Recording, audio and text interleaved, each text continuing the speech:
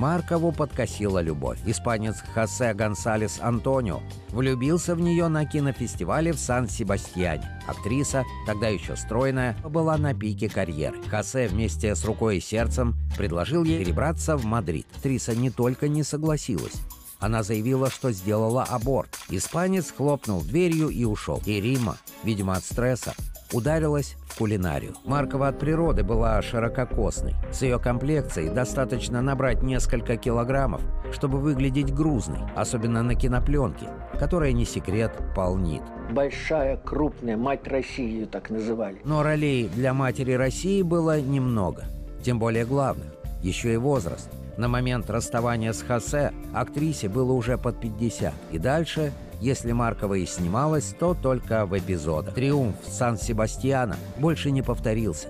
И печать о браке оказалась в паспорте последней.